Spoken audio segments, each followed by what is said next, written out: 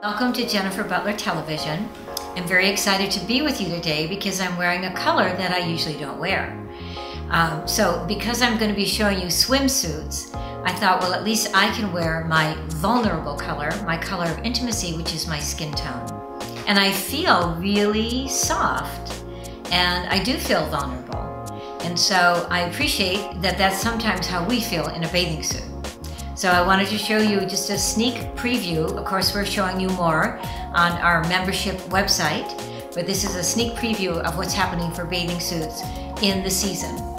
So some of you consider yourself to be the sunlight personality. You're the woman of the moment and you, you're, you're just about living in joy. And your friends know that you bring that to the party.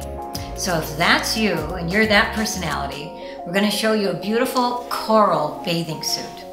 And this is a one piece, uh, revealing other areas very nicely. But when you want to be in the color of celebration and a color that's all about highlighting the emotional tone of who you are, then you're going to wear your red.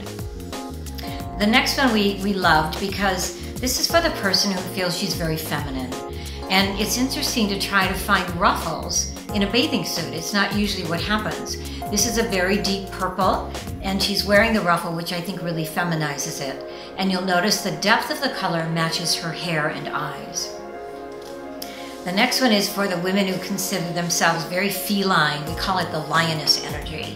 And so we put you in the two piece. I, I, just can't say enough about metallics. I love them in every form and every part of your life because I think they add a glow.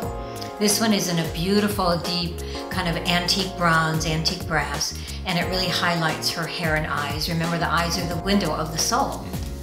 And finally, for those of you who really like black and white, this is actually a dark suit, and what creates the light effect is the, the see-through that sort of creates that kind of eyelet and crochet.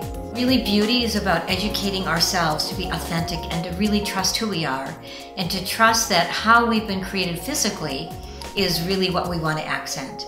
So if this work has been meaningful, if you want more education, please check out our membership website where we have a, a monthly education and go into this in much more depth. So I want to thank you for joining me and until I see you again, colorfully yours.